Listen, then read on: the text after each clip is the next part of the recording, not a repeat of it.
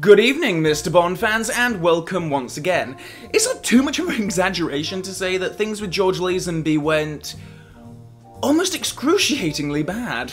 Regardless of what you think about on Her Majesty's Secret Service and Lazenby's performance, the actor's behaviour on and off set caused great consternation with the film's producers, and public reception to him when the film was released was tepid at best. Combined this with the fact that Lazenby took on the advice of his obviously not very good agent to dump 007 after just the one film meant that the Australian actor sauntered off, leaving behind an unsigned contract for seven films.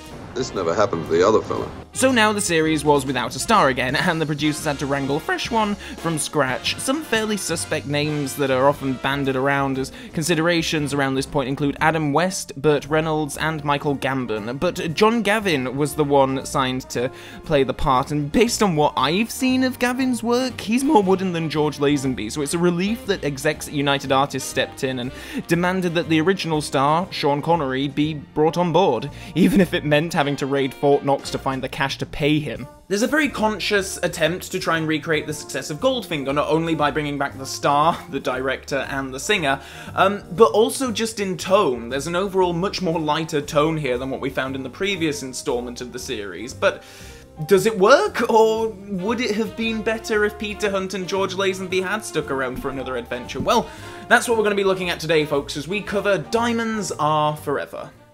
So if, after the brutal and somber ending of Majesty's in which Bond's wife is murdered, you thought that the follow-up would be a gritty revenge story with Bond going after Blofeld and Irma Bunt hell-bent on retribution, you will be very disappointed. In fact, the very first shot of the film could have served to remove Majesty's from continuity entirely as we open in Japan, which is of course where the previous Connery Bond film was set. I wouldn't read too much into that though, it's firmly established in the Moore era that the wedding definitely happened and that up until Daniel Craig, all the actors are playing the same man in a non-linear timeline. Anyway, the pre-credit sequence concerns itself with showing us Bond punching people around the world in pursuit of Blofeld. There's something of a build-up to Connery's reveal, but they just largely carry on with it. There isn't a whole lot of fanfare, and indeed, this delivery of his introductory line is very, very odd.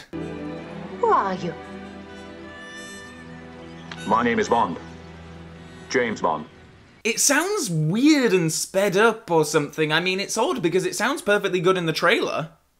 My name is Bond. James Bond. But also quite jarring is just how much Sean Connery has aged in a short space of time since You Only Live Twice. It's definitely the same old Connery, though, up to his classic tricks of being violent towards women. We cut away from Bond for a moment to be introduced to our new Blofeld, this one played by Charles Gray. It's just a jump to the left.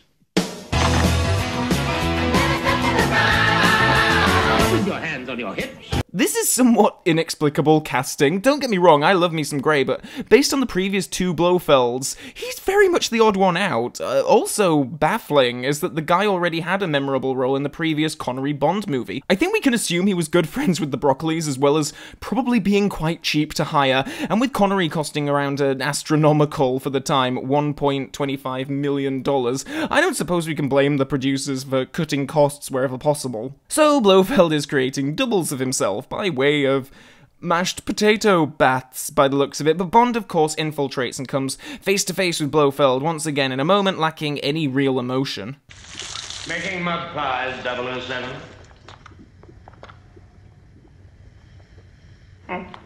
Given that Blofeld was in part responsible for Tracy's death in the previous film, it's a shame that this moment doesn't mean more, but I suppose that the filmmakers just kind of want to carry on and have us forget about the previous installment altogether. Curiously, also, there is no Irma Bunt around, which is especially curious as she was the one wielding the gun that actually shot Tracy dead.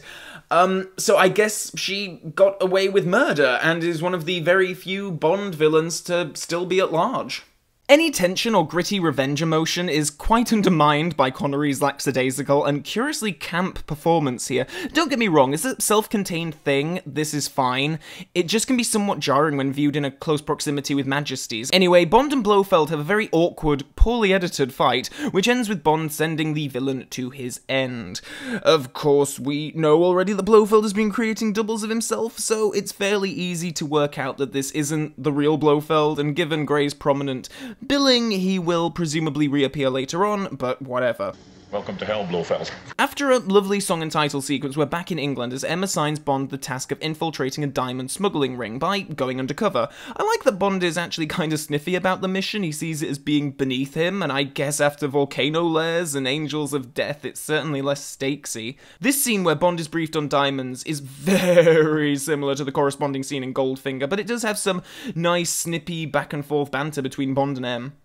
Pity about your liver, sir. It's an unusually fine Solera. 51, I believe. There is no year for sherry, 007. I was referring to the original vintage on which the sherry is based, sir.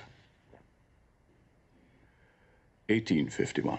Meanwhile, we're cutting uh, between a lot of parallel scenes as the diamond smuggling operation is being described, and we're introduced to Mr. Wint and Mr. Kidd, played by Bruce Glover and Putter Smith, respectively. It becomes clear very quickly that these two killers are bumping off everyone who handles the diamonds on the chain, and that they're also a couple. These guys are just an absolute highlight of the film. They're just so creepy, and Bruce Glover's line deliveries are just so delightful. Uh, and for a film in 1971, their presentation as a gay pair hasn't really aged all that badly, I don't think. Now, I'm certainly no social justice warrior by any stretch, but yeah, I don't think there's anything overtly offensive about Wint and Kidd, how they're presented here. I mean, they are creepy killers who just so happen to be a couple, and that's it, really. And I think that's fine. I mean, this is Bond for goodness sake. They, I think we should admire the restraint that the writers had in not calling them Mr. Top and Mr. Bottom.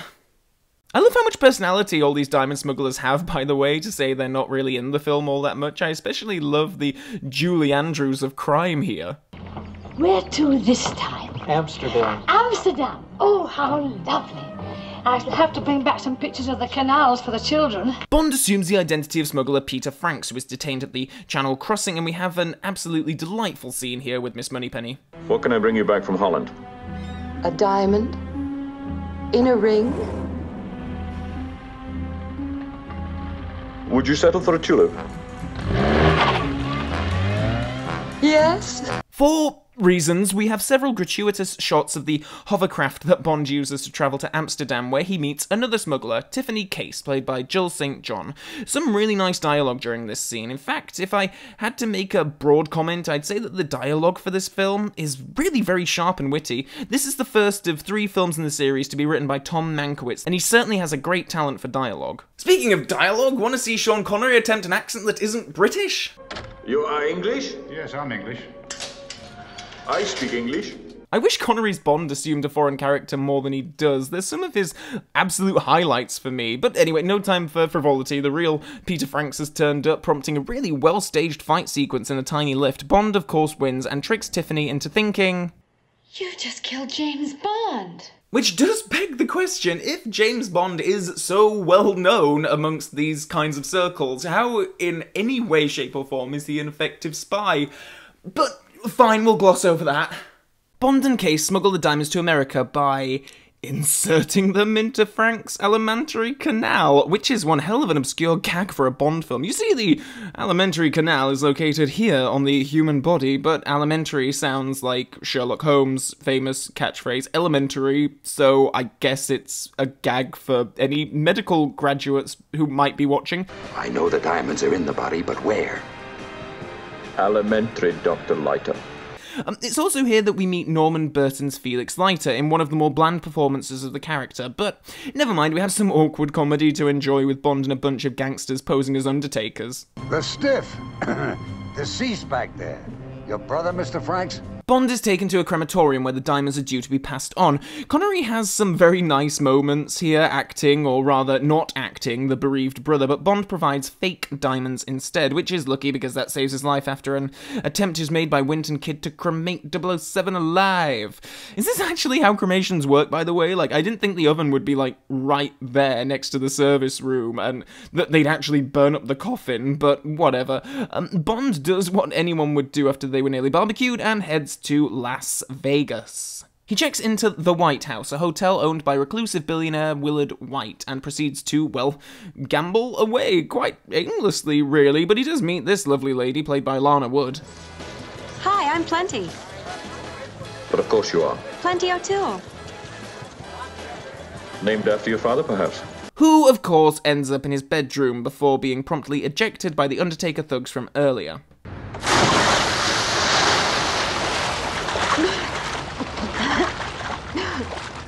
Exceptionally fine shot. I didn't know it was a pool down there. I always find it strange that Plenty has such recognition in the series. I mean, I guess that the name is memorable and Lana Wood is really great, but the character doesn't do much, and it's a shame, but I'll expand on that point uh, later on. Bond sleeps with Tiffany in a very oddly edited scene. I mean, I know that we're not exactly going to see Bond and Tiffany in the act, as it were, but the fact that we don't cut away to anything else is odd. Just jump cut and then there they are, they've had the sex and they're just enjoying a post-coital cigarette. I mean, I don't know actually, a lot of the editing in Diamonds feels very choppy to me. Some scenes end quite abruptly and you just get the sense that there was probably another page of script to it, but they just had to adhere to a certain running time, so out they went. And it's kind of easy to see how they ended up in that place, as while the dialogue is great, the story is quite convoluted, and I think the next few scenes kind of exemplify this. So Tiffany wants Bond to reveal where the real diamonds are stashed, and even suggests that the pair run away with the loot. Bond arranges for Tiffany to pick them up from the Circus Circus casino, but he's actually in cahoots with Felix, and then there's some kind of sting operation going on, and elephants are winning jackpots, and women are turning into gorillas, and there's this nightmare in polka dots. All right, boys and girls, here we go, everybody. So, after all that madness, Tiffany gets away and passes on the diamonds to the next smuggler. This happens uh, off screen before we see her meet with Bond on screen at her villa, where Plenty O'Toole is dead in the pool for no good reason at all. There's a line dropped by Bond how Plenty went to Tiffany's looking to confront her and was mistaken for her. However, how she knew where she lived, what she was confronting her about, it's all on the cutting room floor. There are deleted scenes with Tiffany on the DVD that show her sneaking back into Bond's room, seeing Bond and Tiffany at it, and then finding out Tiffany's address. What isn't available is Tiffany showing up and meeting Wint and Kidd and then being killed. This sequence always really confused me as a kid because it took me a while to actually realize that it was plenty in the pool. I know that Bond says it, but it it just was such a disconnect between what Plenty was doing earlier and her involvement in this diamond smuggling plot because there's no reason for her to be involved. They don't give us a reason for her to be involved, and it's such a big plot point. Uh, I mean, I think they should have really found a way of keeping those scenes in the film if they were going to keep this in the film, which they needed to do because it's Tiffany's big turning point moment. Especially as it prompts a big change of character in Tiffany, who, seeing the drowned girl, comes over to Bond's side for the first time to work with the good guys, which she promptly does in one of my other favourite scenes in the movie where she causes a distraction, allowing Bond to board a van heading to a remote research lab. More fun here as Bond plays a dual role and infiltrates the place. I like seeing Bond do things like this, you know, using his wits and conversation to infiltrate rather than gadgets, and there are some nice little bits in here, like him and the other doctor having to rush to get through the door before it closes. It's such a little thing, but there are lots of nice little funny moments like that in this film. Anyway, after some investigating, Bond discovers that the lab, owned by Willard Whyte, is constructing a rather suspicious satellite under the watchful eye of a Mr. Metz, played by Joseph Furst. After one of my favourite lines in the film, Will you please leave, you irritating man? Bond is rumbled, and in yet another bizarre choice on the filmmaker's part, sneaks onto a film set of the moon. I have no idea what this is supposed to be, if it's a simulation or part of a bigger scheme or what, because, like, no one actually goes up in the Diamond satellite later on. There's none of Blofeld's employees up in space that we know of, so I don't know why this is here, but this is where we're at, folks. This is it. The moon. I especially love this astronaut guy who still simulates low gravity even when trying to apprehend Bond, who hops into a moon buggy, as you do, and we have a chase sequence. Now, I can only assume that this scene was to play for laughs and nothing else because. I mean, the camera work is pretty bland, the stunts lackluster, and the music devoid of any excitement at all. This is not a blood pumping thrill ride of a chase sequence. It's a shame because, as Your Eyes Only shows much later, you can put Bond in a silly vehicle and still have some cool, exciting bits of action, but here. I don't know, it's like someone had an idea to put Bond in this thing and thought it would be great, but no one else understood or cared, but just went along with it anyway. Bond meets with Tiffany and the pair head back to Vegas, prompting another vehicle chase sequence with a disappointingly wooden American sheriff. There goes that son of a bitch and saboteur. The guy plays it very much as a V1 of Sheriff J.W. Pepper. Heck, if they'd have cast Clifton James in this part here, I mean, he could have had a we could have had a trilogy of J.W. Pepper Bond films. But this actor just doesn't have the comedic timing or cartoony charisma that we find in the sheriff in Live and Let Die and The Man with the Golden Gun.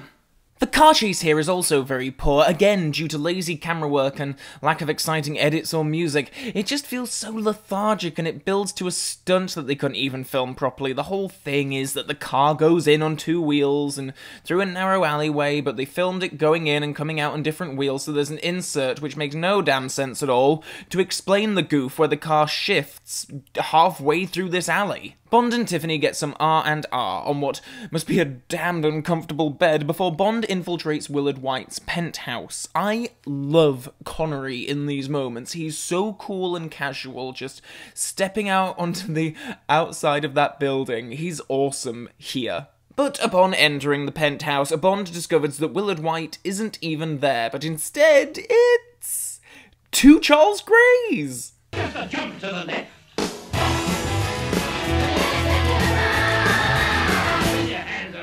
Yes, Blofeld's alive and has been impersonating Willard Whyte using a voice-changing gadget. Bond has a go at killing one of the Blofelds by kicking the cat and seeing which villain it runs to, but how it's filmed, it literally just looks like Bond kicks a cat on Blofeld rather than letting it run to him. I'd love to know how many takes it took of them flinging a cat through the air at Charles Gray to get the shot. Um, though this pussy should be grateful that it wasn't the one that was used in You Only Live Twice. Anyway, of course Bond still didn't kill the right Blofeld Blofeld as there's more than one cat, but I'd love it if he actually did kill the right Blofeld and this guy's just like some underling, some Blofeld clone who's like, you know, I'm really gonna make the most out of this promotion. Bond is knocked out and passed off to Wint and Kidd to dispose of by way of pipe robotic thing. Uh, it's very elaborate, but we do get the best Bond rodent conversation of the series. Sorry, Spectre. One of us smells like a tart's handkerchief.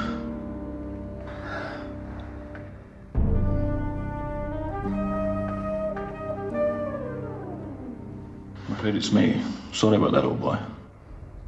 Q gets some field work in this one as he meets with Bond in Vegas to provide him with his own voice altering device so that he can call Blofeld and find out where the real Willard Whyte is being hidden. Bond heads to that location with Felix and the CIA in tow, but for some reason decides to enter the house alone and is confronted by two other very memorable uh, elements of this film Bambi and Thumper.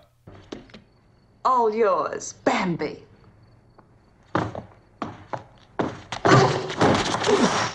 This prompts a really great fight scene as Bond has to do battle with these incredibly athletic and flexible women. It's worth the plot contrivance of Bond going into this villa alone when really it would have just been much easier just to send in the CIA with, you know, guns, but whatever. What is disappointing though is how Bond overcomes the women. He just holds them underwater.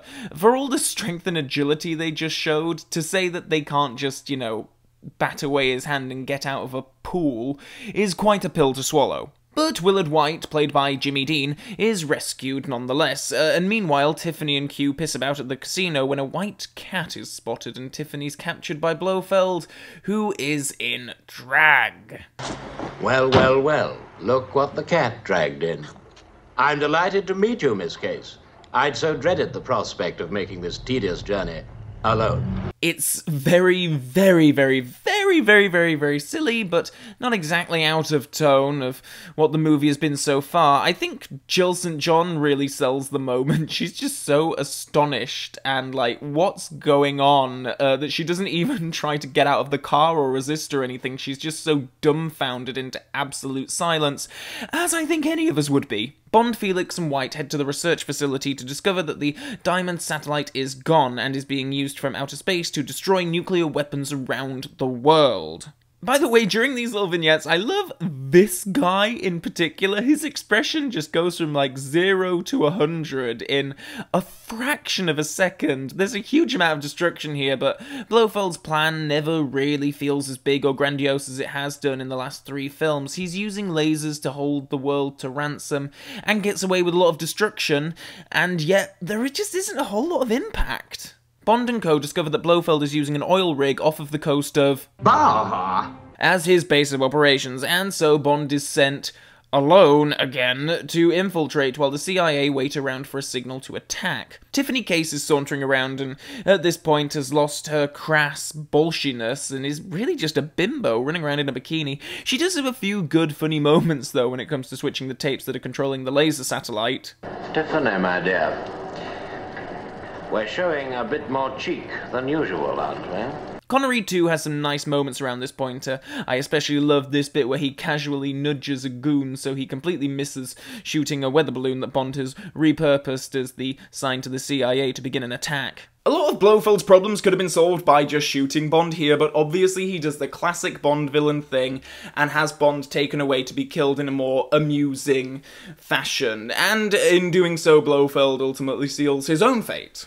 The assault on the oil rig is fine, but it feels like we're missing some good money shots. Indeed, a mistake during the preparation of the scene meant that a load of explosions went off before cameras were rolling, so I suppose that what we get is somewhat watered down from what was originally intended. Speaking about what was originally intended, an earlier version of the screenplay had uh, Bond and Blofeld make it off the oil rig together and end up at uh, a salt mine, um, where there was going to be a big physical fight sequence between the hero and villain, which would ultimately end in Blofeld falling to his death in a salt granulator. Uh, the sequence was ultimately scrapped because of cost of filming and all running time, all these things, so the sequence was never put to film. Um, and of all the scenes to cut, I mean, I would sooner cut any two or three previous action sequences if it meant that we could have had that final confrontation in this film. It's so disappointing that we do not get a a good showdown between Bond and Blofeld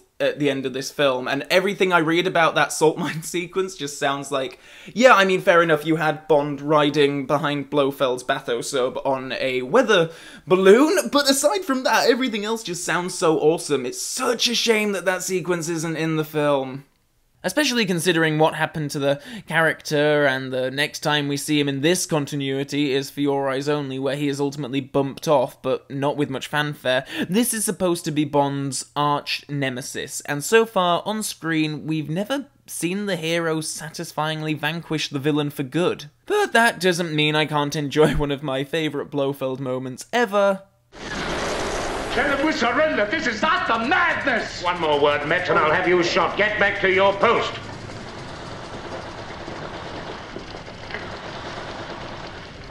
Prepare my bathosub immediately. I just love how he's like refusing to go down with his own ship and is much more concerned with just making it out alive. And he's so cool and calm as he does it, but all of that is kind of negated by how unsatisfactorily Bond ends the villain in this film, which basically amounts to swinging Blofeld around slowly in his pathetic little submarine while being shouted at. Damn you, damn you. Tiffany is on hand to provide a good laugh at least.